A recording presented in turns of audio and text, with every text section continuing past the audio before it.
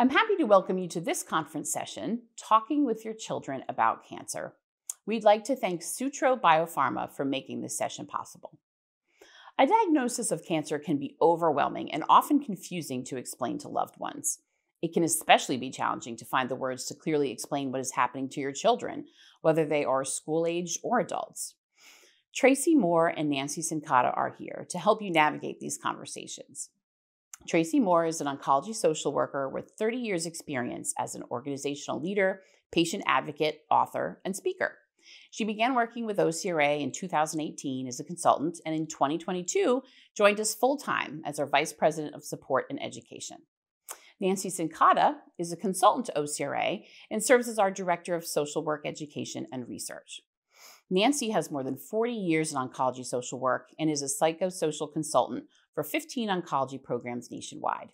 She's worked in nonprofit, hospital, and higher education settings. I'll now turn it over to them. Hi, welcome to Talking with Your Children About Cancer. I'm Tracy. And I'm Nancy. And how to explain cancer and treatment to your child is not always the easiest thing, but we want to demystify it and give you some ideas and some strategies to help make it easier. Um, but Nancy, what do you think? How how do you to explain to a child what is cancer? Well, I think it's actually a really complicated question, right? Because as a parent, when you're diagnosed with cancer, you have your own emotional reaction to being diagnosed and you continue to be the parent of your child or children. So there is some craziness about thinking that you're going to be able to deal with your own response and then be able to gain your composure and deal with you know your best ability as a parent to explain this thing that is new and scary and frightening to you to your child.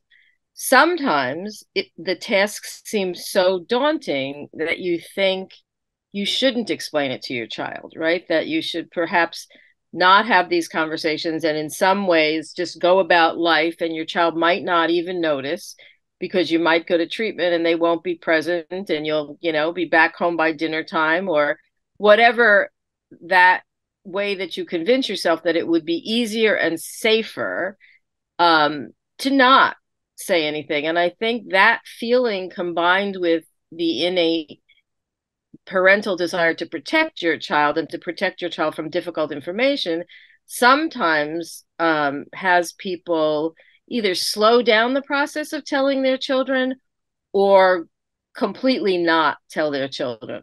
The problem with that um, approach is that children are really, really smart and that they hear everything, they see everything, so that you may think that you are protecting your child, but in fact, your child will be picking up like the feeling in the household, the conversations you have on the phone with other people. If your child is old enough to be on the internet, they may hear you say the name of something or the name of a medication, or they may see a medication bottle and begin to look up and explore what's going on. And even though it may seem like that's not, ha- excuse me, not happening in your household, it is amazing how much that does happen and how much children really do over here. So rather than protecting your children, sometimes by not telling them, you're giving them a message that there's a reason to hide this.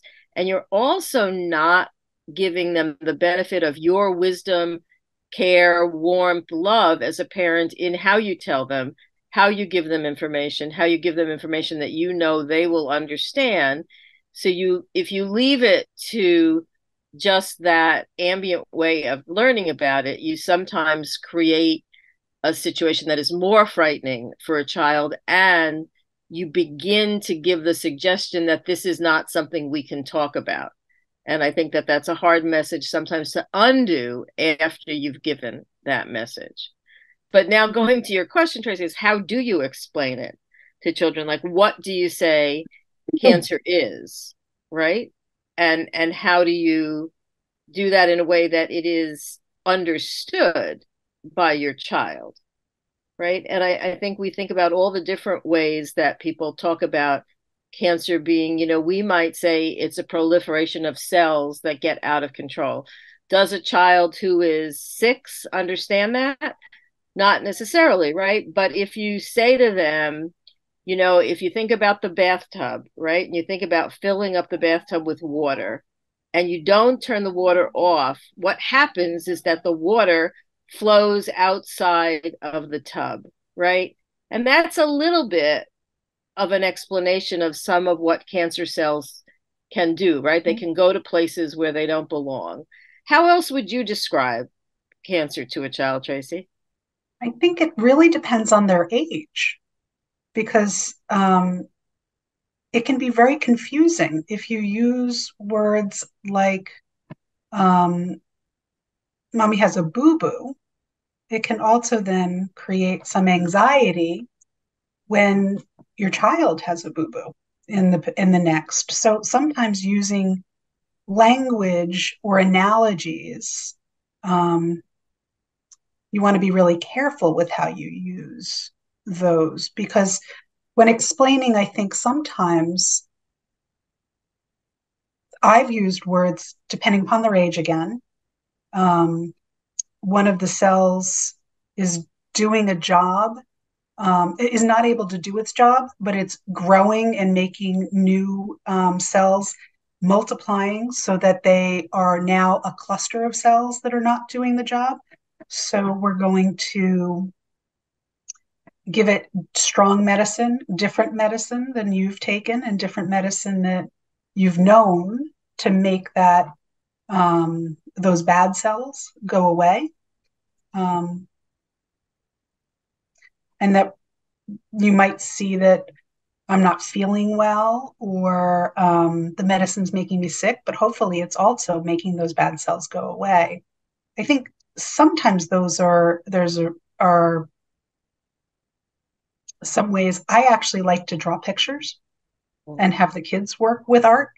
Nancy, have you done that as well? Done art artwork around what a cell might look like and what it might be doing and how it might be growing and and watch the kids kind of develop what their idea is yeah again I, I think that depending on the age of a child using drawing to depict it or you know there are a number of video games out that mm-hmm. um, will show different things kind of killing cancer cells I think that sometimes that analogy of good cells and bad cells is a really good one because just the simple concept of thinking that you want the good cells to survive and the bad cells to go away, that that's a, a helpful way of explaining it. And again, it depends on the age of a child, the aptitude, like so not just their age, but like what have they taken in school? What are they like? Are is it a science minded kid, or is it a kid who really doesn't have any um, sense of different functions of parts of the body. So I think that like you you start with good cell, bad cell, and then continue. There's also a lot of um, tools out there where you can buy a good cell and a bad cell, or you can you know buy different things that allow for that. And you know if you're you're drawing, the other good thing is that there are other activities that you you know mm-hmm. as a parent could complement that drawing with, like in talking about um, different things or to draw, you know, even like having kids draw a picture of their family mm-hmm. um, will give a parent like a good idea of what they're thinking about as it relates to what they understand about medications, about the hospital, about um, different different experiences like that. So yeah, I think that um, sometimes it's really like within the context of your household and your child, you will think about things that you can make analogies to. And to reiterate what you said, to be um, clear about not creating analogies or metaphors that could then frighten your child later on, right? Like if you think about, um, if say you have to have a scan and right. you, you, tell your child, you know, that you're going to be um, put to sleep for the scan, then it, it may raise issues about sleep for mm-hmm. your child or you know like sometimes eh, as an adult you might say i'm going to go have my blood drawn. And there's always the question of like what does that mean? And for a kid they might think well how much blood are they taking? Are they taking all of your blood? And so i think there's things like that to, to be very specific about what you're telling your children. And again sometimes it's hard to understand that you may not feel sick or be sick but you're going to go and you're going to get medication that's going to make you sick. And that's not your cancer that's making you sick, that's the treatment that's making you sick. And so I think that's also something that's really, really helpful for children to understand, particularly as it relates to either kind of radiation treatments or things that will make you tired. Because really, for most children, it's the things that make you less available to them that are the things that they pay attention to, right? So if you normally um, go and play catch with them after school, or if you go swimming with them, and then that's something that you cannot do, it's important for them to understand that the treatment that you're getting is making you tired or making you sick, and that it's not that you don't love them and you don't want to be doing that with them, but also that it's not the illness that is making you sick. It's the it's what you're getting to help you have the illness go away. And that's a hard concept. It's a hard concept for adults to understand. Well and it also triggers the the concept for me. It's not always um, what you're telling your children. It's also what they've heard in school their friends talking about so if you use a very specific word like i'm going to have chemotherapy and it's going to make the bad cells go away. It might make me feel sick, but you know, in the end, the goal is to make me all better, right? But you don't know if their your child's best friend had an elderly relative who had had chemotherapy and maybe had a very different type of cancer and a different outcome. So you don't know what that word means to your child um, until you really check in with your child. Like, how have they ever heard that word? Um, what experiences they've had, and really, what does it mean to them? I, I always am so fascinated to see how children, as Nancy said, are so, so smart and they're processing and they're trying to figure things out. I like to check in with them to see what they understood um, your explanation to be and to see what they really so like it, it does two things. One it gives you the ability to check in but two it also opens the the opportunity for you always to have a dialogue always to have that communication of um, you can ask any questions. I'll explain it openly and honestly to the best of my ability um, sometimes even hospitals will encourage you to schedule an appointment with a child life specialist and yourself to do some medical role play and to really make sure your child has a great understanding of what's going on and has the the confidence to be able to ask real questions at any time. Now, this sounds somewhat like doable while we're talking about it. But it really means that as a parent, you will have to make a commitment to wanting to have the open communication, to be in the dialogue, to check in, to want to pursue it. And sometimes, if you're a parent going through treatment, the last thing you want to do is sit and talk about it. You know, you might want to, you're coming home from treatment, you might be exhausted, you want to go to sleep. It so mm-hmm. it's kind of an interesting thing to think about how how you create a space and the time to have such communication. And it's almost easier if you create a pattern to it, right? Like if you say on Tuesdays at six, we're going to go for ice cream. And then you know that during that walk to ice cream, you're going to talk about certain things or you're going to ask certain questions so that you don't have to think every minute I'm going to do this, but you kind of create a plan for yourself where you it affords you the time and the space and in a way it prepares you as well because this is we don't want you to think that this is easy because it's mm-hmm. not it's not easy but there are these things that you can do to make it easier It's also interesting. Sometimes you can do an activity with a child where you ask them to draw cancer, and mm-hmm. what they draw will be very revealing in what they think. Or you ask them for one word to describe what they think cancer is. There's also like the other thoughts about like what do you protect children from? Right? Like you do not have to tell children everything that you know about everything in your cancer experience. You need to give them the basic information and you need to answer their questions. And I think sometimes um, parents may fear that children are going to ask them questions that they can't answer.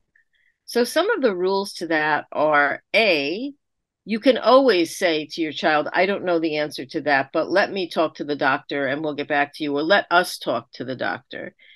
Also, um, the other thought would be is to really, really listen to the questions that children are asking, right? Like you want to answer the questions they are asking, not the worries that you have. Because they do not need to be burdened by everything that you're thinking, but they do need to get answers to the things that they're asking and to answer in an efficient and age appropriate way so that you are not creating more stress because you're creating a concept that they can't understand or they can't make sense of. And I think that children are often very, very satisfied with concise, clear answers. And then they'll go on to something else. And it's not strange at all that they go on to something else once they have the information they have. And generally, children do not ask you questions beyond your tolerance or competence. Right? It would be the rare child who would ask you more things than you know or that you could answer, or just even more questions than you can answer. Because generally in these conversations, children have an agenda and it's about something they heard and something they learned.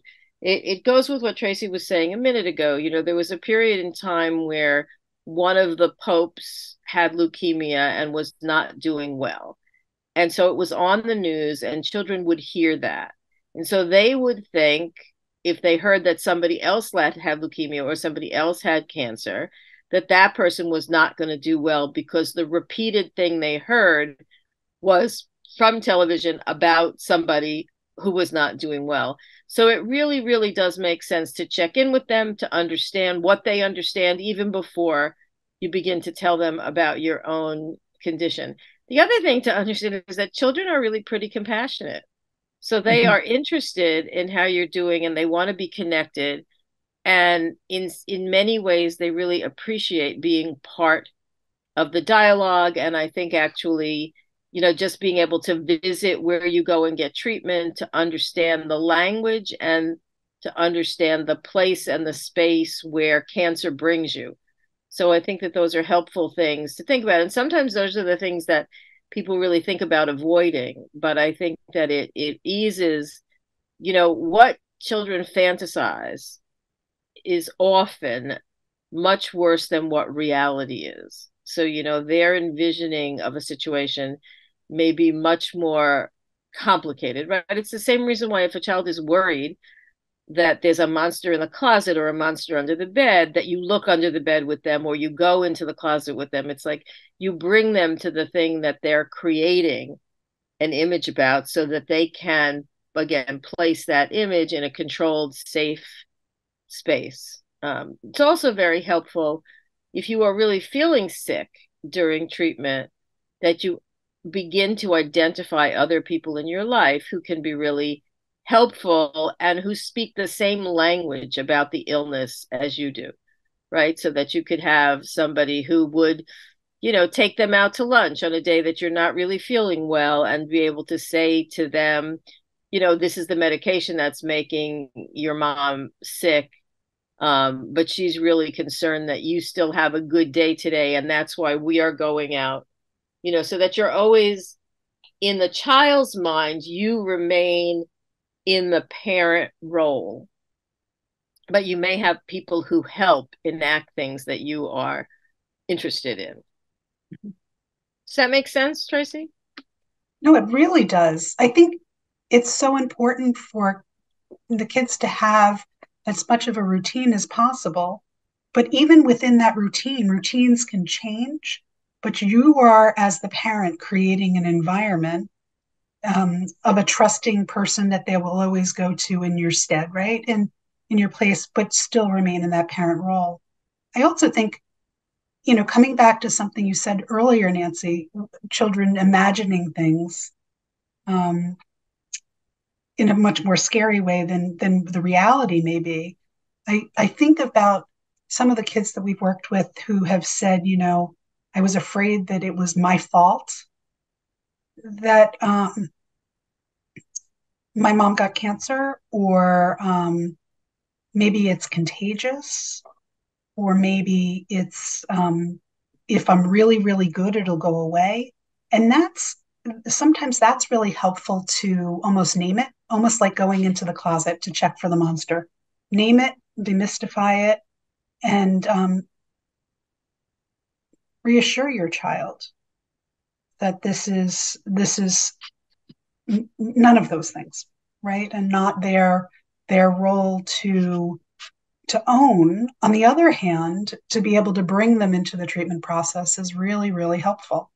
I think about um, sometimes if if if you do lose your hair from chemotherapy, um, some children are really afraid to ask questions, but it can be helpful to bring them into the process and to um, trust them to um, touch your head or do um, activities.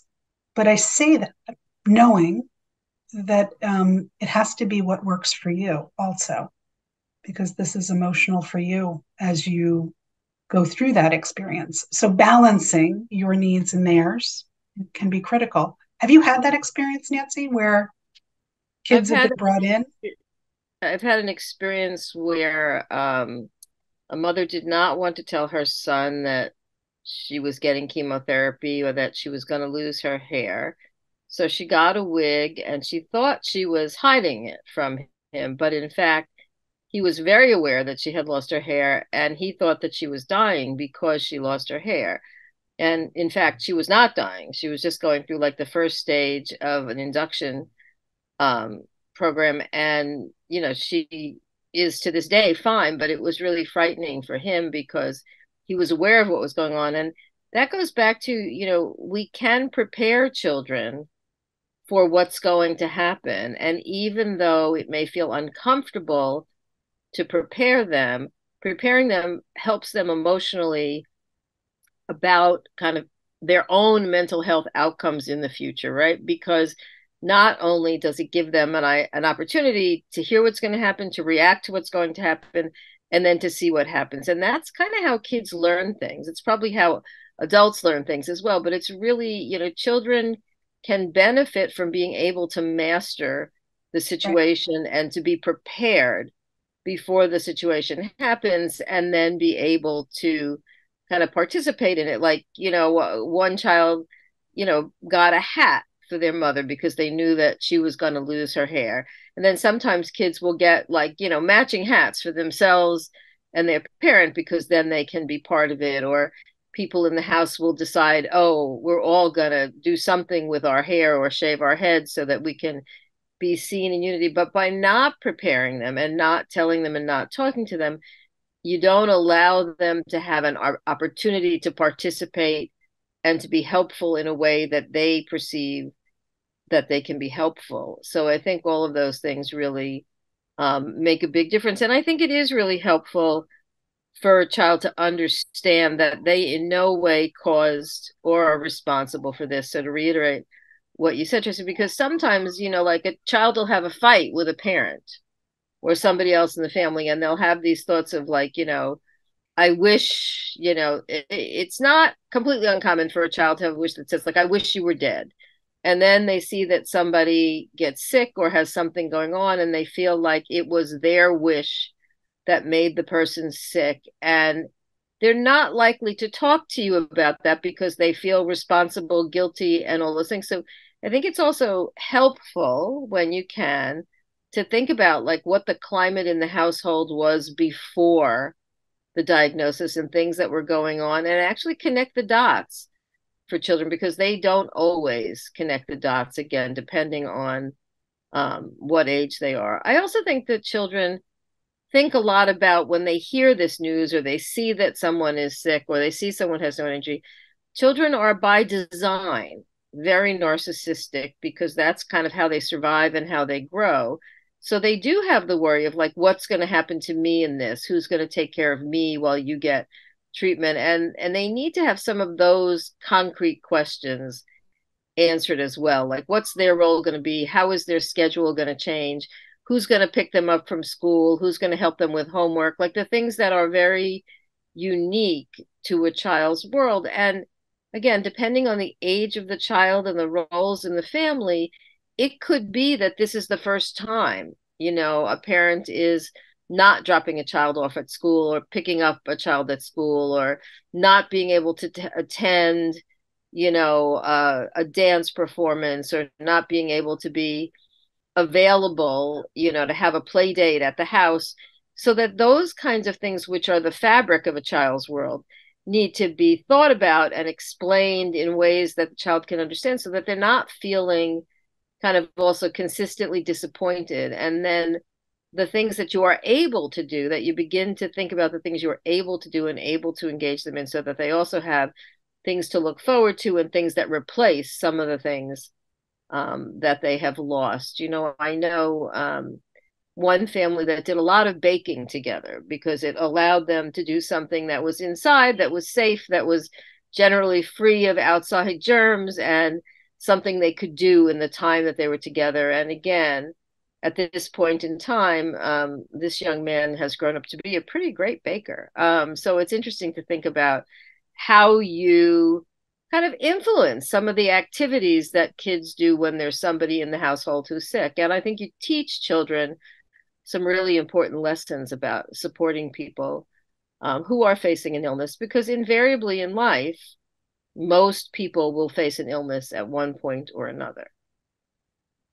Well, and by by having these important conversations, um, you're giving your child the ability to have their own elevator speech, so to speak, when they go to school, and someone asks them what's happening, what's happening in your house, what's going on with your loved one, why why doesn't your mom have hair?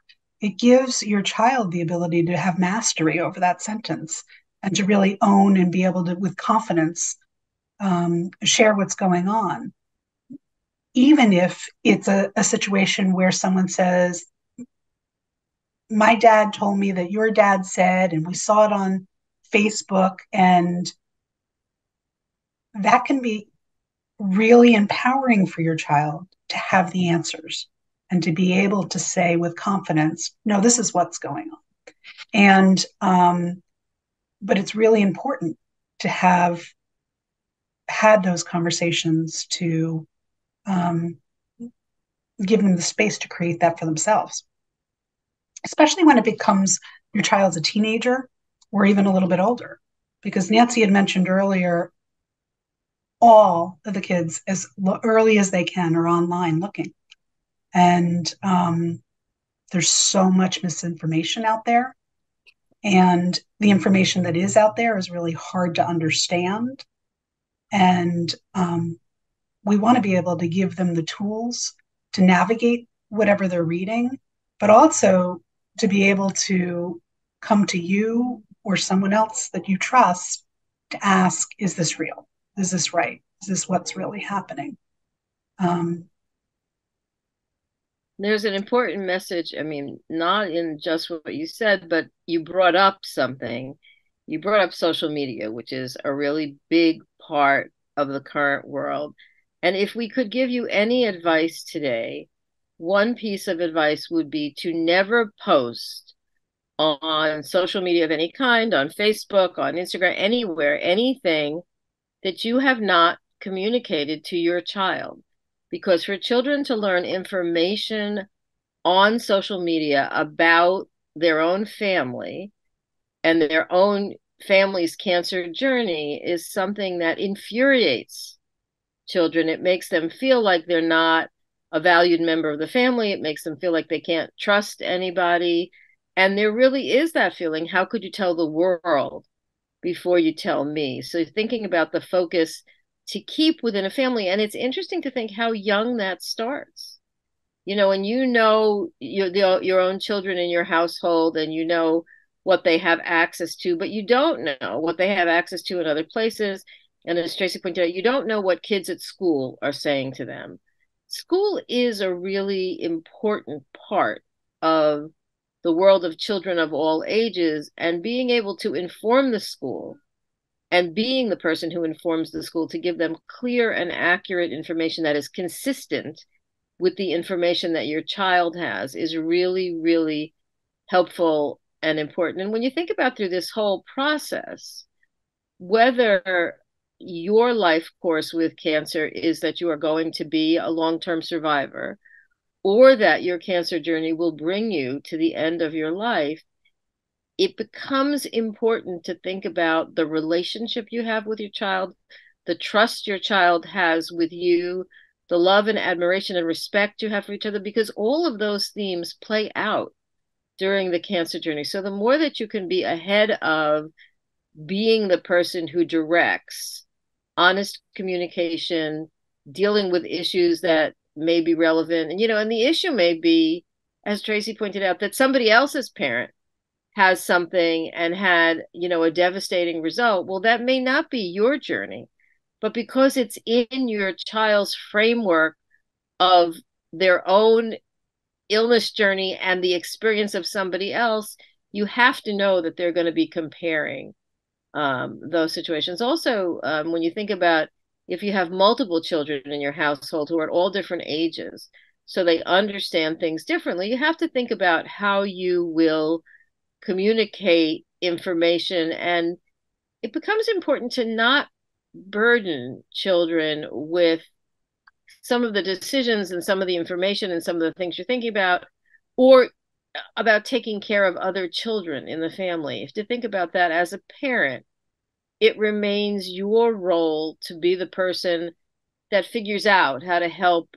all of the kids in the family to understand and digest this information and that um, when you're delegating responsibilities and different things it's really fine to delegate who's making breakfast and who's going to the zoo and who's you know taking care of the laundry and the meals but some of the information it becomes really important to come from you so that there's a feeling of direct communication and your value in the family. Um you know as a child that it's just a very important piece. Like communication is one of the main keys to how people will do as a result of this experience. Um, what are some of the tools some of the real concrete things out there that people can use um, to help them navigate this. I mean, one of the things I'm thinking about is bibliotherapy or or art. But what are what are some of the tools um, that of communication that you've used, let's say, that you find really helpful? Well, I think that the use of books is really helpful in that because we live in a world where you can Google search something and find a book for the most part on it, is that like reading a book with a child about somebody else's cancer journey is a really, really helpful thing, both because it gives the child context and some of the language around cancer and some ideas on what the cancer journey is. And then it allows you as a parent to also not have to be recreating the wheel, right? Like the last thing you want to have to do is figure out, oh, what's the best way to explain this or how do I do this?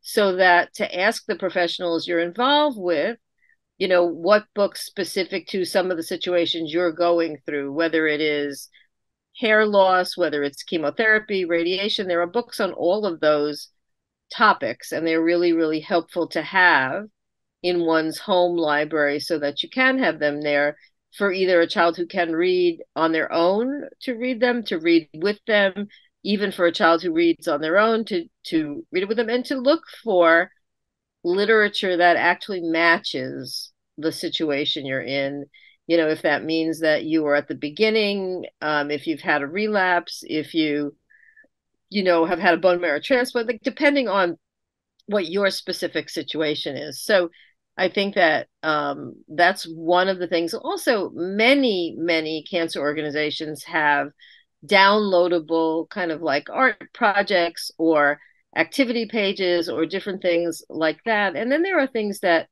you know like are unique to your child's house, you know, your child, your household.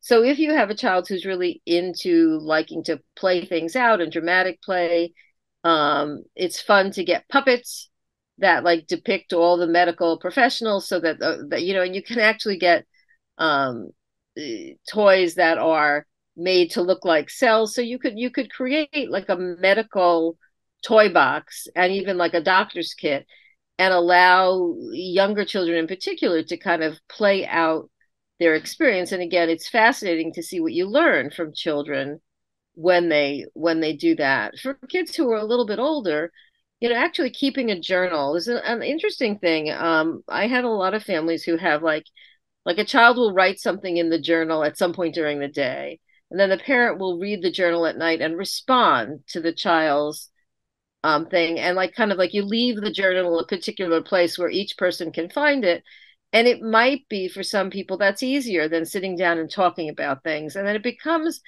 a valuable memory of what the treatment course was as well and what the communication was so it's a very it's a it's a very sweet idea that kind of enhances communication but it's also you know like sometimes you can decide that cancer um, is something that changes the balance in your family. It makes things unequal. It feels like you have to deal with things that other families don't have to to um, to to think about. So trying to create that feeling in your household that things may not be as you want them to be, but that your family is going to try to make the experience in a way as fair as it can be and as comforting as it can be, and that maybe you're going to develop new patterns and new activities. So maybe there's some things you can't do, there's some losses, but maybe there's some things you can do, and there are some gains. And it, it makes sense to engage kids in activities of like, what do they want to see, you know, happening during that time? Or if you have to have a few days in the hospital, where do they want to go? Sometimes children think, when they're sent off somewhere else that that means that you don't care about them as much or that they've been displaced so for a parent they might think oh i created this great plan but for the child they might have preferred you know staying at home from school and being with a particular relative or a particular friend and you can't always work those things out but the more you give children choices and voices in what's going on, the better they adapt to the situation. And in some ways, the happier they are. And that means the happier um, you will be. So, I mean, I, I think that, you know, we also live in a world that if you Google search, how do you explain cancer to a child? Or what activities would be good for dealing with chemotherapy? Or that you will find thousands of answers to those questions. And I think that the other thing that we want you to be sure of is that we are also available for right. emails and contact around these issues. These are things that we talk about all the time, and you might have a situation that happens in your household that is unique, and we might be able to tell you, oh, we've heard this before, you know, and this is what somebody else did in this situation. So that's something that we want you to know. Um, you know, again, that that we are reachable um, and here for guidance, not because we are the experts, just because we've had the experience of having other people share information with us and let us know, like, kind of what has happened in their household. You're not alone in this. I think that's what we're saying. And if we can help, we want to be available. So feel free to reach out to us at OCRA and we'll we'll be in touch. I hope this information was helpful and we look forward to speaking again. Thank, Thank you. you.